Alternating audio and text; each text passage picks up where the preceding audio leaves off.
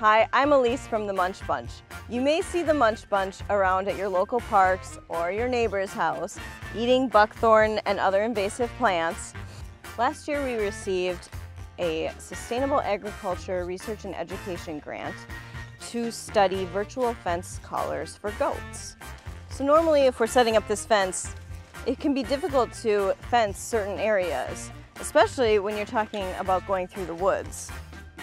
And so this product was invented in the 70s and really hasn't changed. I don't know what whose idea it was to take basically a giant fish net and walk through the woods because it's really, it's, it's super easy work.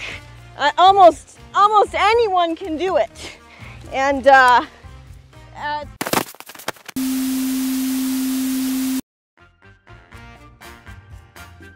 But as you can see, we are not using a fence around these goats.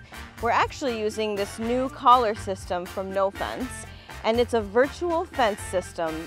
All I have to do is pull out my phone, open up the app, see the map of where I want to put the goats, and then I just draw the map of where the goats should hang out, and then that provides the zone of containment for where the goat should be.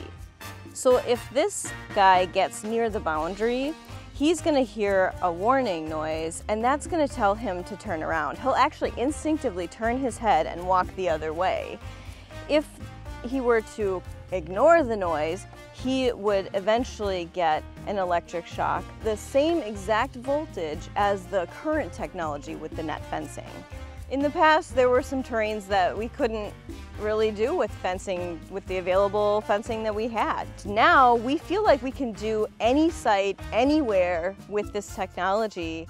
This can be used for cattle and sheep and all sorts of production systems, and we can put animals back on the land for regenerative agriculture, managed grazing, carbon sequestration, and all sorts of things. So if you see these goats wandering around and you don't see a fence, they're actually contained by virtual fencing. If you want to learn more about the Munch Bunch or our virtual fencing project, you can visit us at munchbunchgoats.com. I am the most loved individual by goats.